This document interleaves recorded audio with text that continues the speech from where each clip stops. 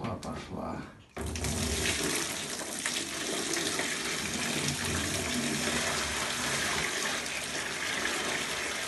Так, 20 наверное.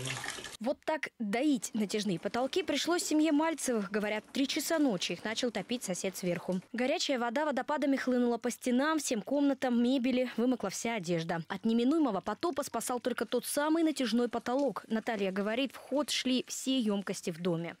Сковородки, все ушли сковородки, все банки, а, все кружки до единого, даже лоток у кошачий ушел. Ее супруг Евгений рассказывает, сразу кинулись к соседям, но дома никого не было, так что остановить воду удалось не сразу. В итоге квартиру теперь придется капиталить, поднимать полы, перетягивать потолки, переклеивать обои, менять сдувшуюся мебель. Семья говорит, с радостью бы уехали из сырой квартиры, но не могут. Их семилетний сын лежит загипсованными ногами. Вставать ребенку категорически нельзя, перевести его куда-либо, тем более. Мама мальчика рассказывает, когда вода только пошла в дом, ребенок очень испугался. Не знал, что делать, а главное, как спрятаться от водопада, который лился прямо на него. Ладно мы, мы взрослые, мы на улице, мы этим не дышим, он этим дышит, это клей, это грязь, это все ужасно. Постель вся мокрая, на что он лежал.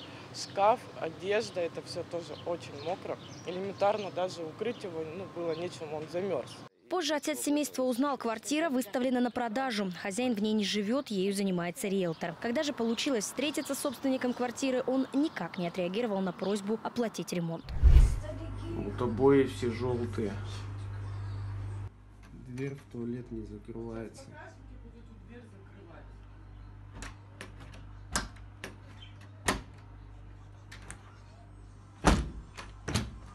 Я ему подошел, сказал, что будем делать, как будем решать вопрос. Мы не, не пообщались, можно так сказать. То есть он со мной диалог не вел. Сегодня э, приходила девушка с управляющей компанией. Ну, как бы составила она э, все полностью, посмотрела все. Председатель Народного контроля в ЖКХ Роман Казаков говорит, это одно из первых действий, которое нужно сделать в этой ситуации. Сначала стоит оперативно вызвать аварийку и перекрыть воду, если соседей нет дома. Затем нужен акт от управляшки. А дальше важно заснять на фото и видео все последствия наводнения в вашей квартире. Квартира в любом случае имеет собственника. А, Тот собственник, который был эм, документах на момент происшествия, на момент аварии, на момент затопления, он и будет нести ответственность.